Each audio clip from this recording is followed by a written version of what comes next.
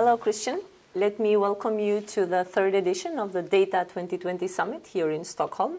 You are uh, one of our regular speakers, and I want to thank you for that, and Grundfos for joining us. But before we go on, just a short recap on you, your expertise, and a little bit more about Grundfos.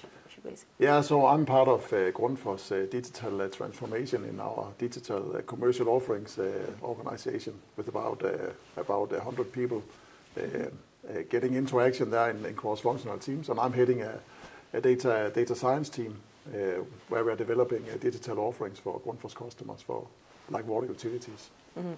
So, um, uh, Christian, you presented at the Big Data Quality and Master Data Management stage um, um, about data quality as a foundation for measuring and managing data.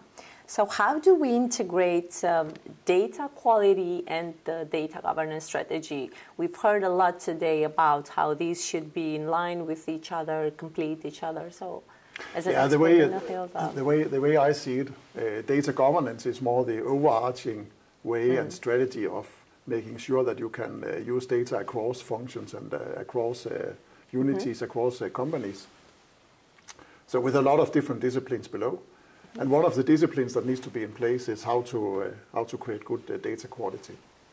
-hmm. So could you name some of the data quality challenges and priorities? Yeah, some, some of the data some of the data quality challenges is that uh, how, how to get started uh, on, on data quality because uh, how can you explain the, the value? So mm-hmm. what, what we have been doing to overcome that is to start really really small and and then see, see the value mm-hmm. and then then scale from there. Hmm. Okay, so um, again, because the focus is on data governance, and so I'm trying to somehow connect it to that.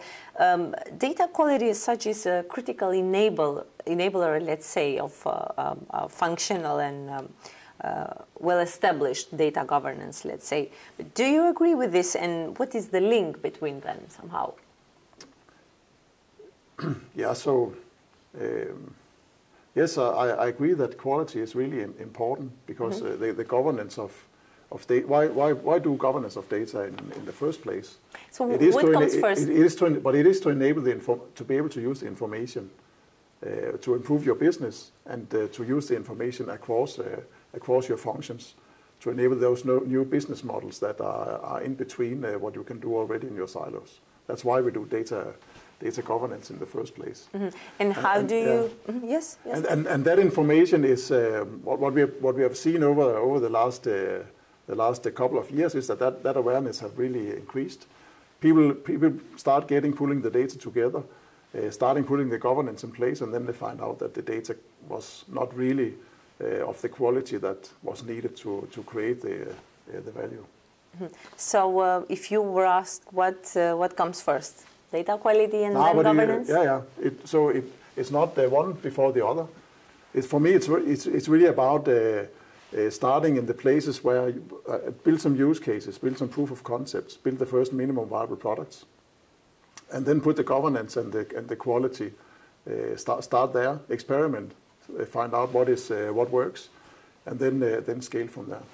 And how do you um, and how do you transfer the the quality within the departments when it comes to data? Because you are a cross collaboration mm. um, um, fund, I know, fun.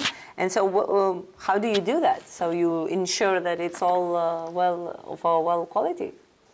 Yeah. So what we do is that we try to avoid very specific tools, uh, okay. very specific tools that are. Uh, that are directed towards, for, for example, uh, customer data records or that are directed towards uh, stream data that come in.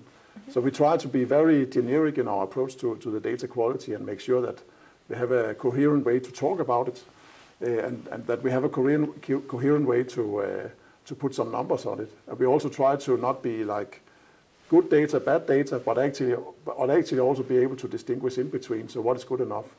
Mm -hmm. So um, uh, this one we usually ask Christian, looking at data management technology from your area, mm. from your uh, expertise, what do you think uh, we will um, uh, expect in the next 12 months?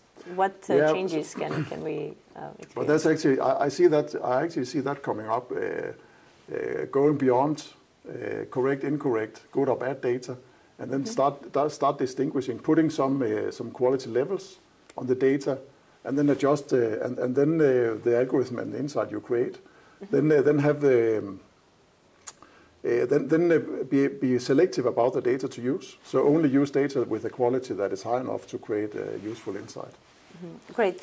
Um, uh, Christian, thank you very much. Thank you for joining our events and thank you for accepting to conduct this interview. You're welcome. Thank you. My pleasure.